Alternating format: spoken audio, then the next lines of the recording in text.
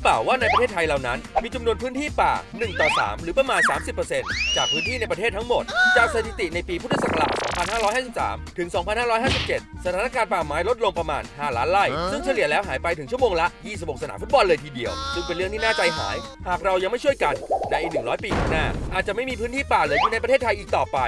และยิ่งในกรุงเทพด้วยแล้วล่ะก็ การที่ได้สัมผัสธรรมชาติ และความเขียวขจีของต้นไม้ใบหญ้าคงจะเป็นเรื่องยาก เพราะอยู่เมืองกรุงหันไปทางไหนก็เจอแต่ป่าคอนกรีตแต่ชีวิตมันก็ไม่สิ้นหวังสักขนาดนั้น เพราะยุคนี้คนที่รักต้นไม้ รักธรรมชาติ รักสีเขียวยังมีอีกเยอะ บางคนอยู่บ้านก็ปลูกต้นไม้ทำสวนอยู่ที่บ้านมันนี่แหละ และสำหรับคนที่ไม่ได้อยู่บ้าน บางคนอยู่คอนโด บางคนอยู่หอ จะปลูกต้นไม้ก็ไม่ใช่เรื่องลำบากอีกต่อไป เพราะเดี๋ยวนี้เขาปลูกต้นไม้กันทั้งนั้นเพราะอะไรนั่นเหรอ ก็เพราะว่าเทรนด์การปลูกต้นไม้มันกำลังมาสิครับคุณพี่ บางคนปลูกต้นไม้เต็มห้อง จนตัวเองแทบจะไม่มีที่นอนกันเลยทีเดียว แม่ช่างลงทุนซะจริง ๆ และถ้าใครเป็นแบบที่ผมบอกไปแล้วล่ะก็ บอกได้เลยว่าคุณนั่นแหละ เป็นเด็กกรีนเขาแล้ว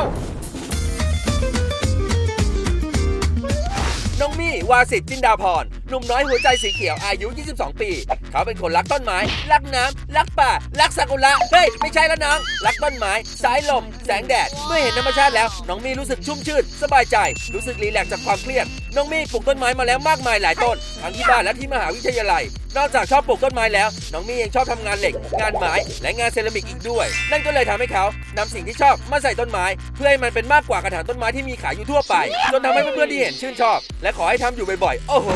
ถ้าชอบปลูกต้นไม้สักขนาดนี้งั้นวันนี้ไปลองดีกันดีกว่าพอหนมถ้าหากว่าชอบปลูกต้นไม้สักขนาดนี้ทำไมไม่ลองเปลี่ยนจากสิ่งที่ชอบมาเป็นงานที่ใช่เพื่อให้ชีวิตมันชุ่มชื่นสดใสแถมมีออกซิเจนอยู่ใกล้ๆตัวอีกด้วย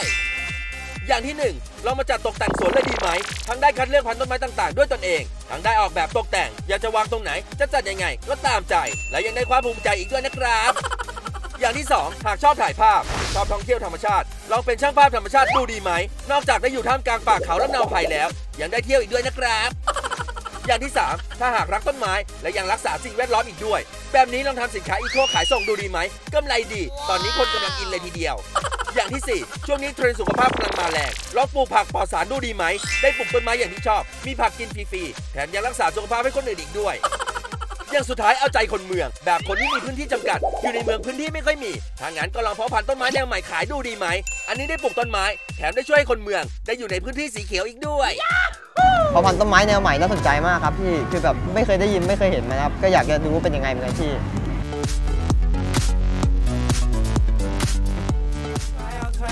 day. Yes, better try out, try out, okay.